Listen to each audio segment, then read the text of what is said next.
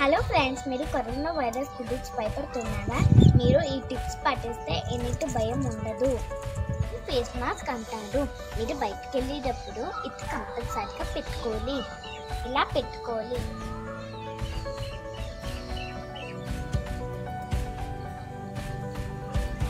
ఇది శానిటైజర్ మీరు ఎక్కడికైనా బయటికి వెళ్ళి వచ్చినప్పుడు ఇది లేకపోతే ఏదైనా టచ్ చేసినప్పుడు ఇది పెట్టుకొని చేతిని శుభ్రంగా కడుక్కోండి.